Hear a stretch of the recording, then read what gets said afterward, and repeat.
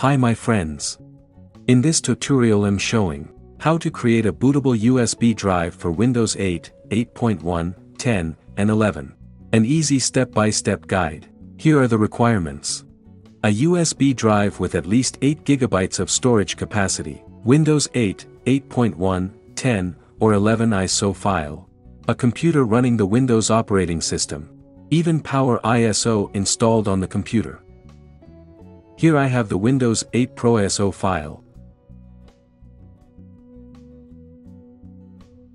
So let me show you how you can create it.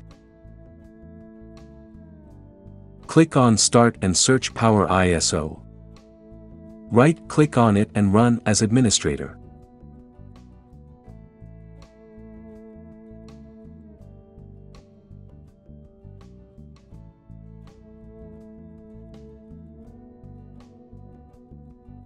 Here make sure you have an empty USB drive inserted into your computer.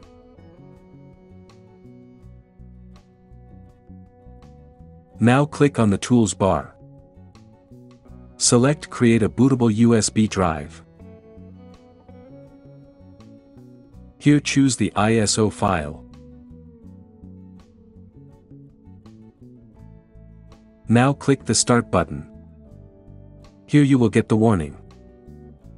All the data in the USB drive will be overwrite, do you want to continue? Click on OK. The process will start.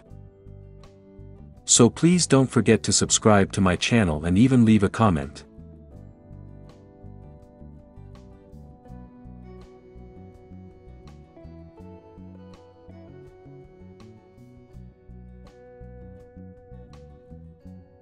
Done.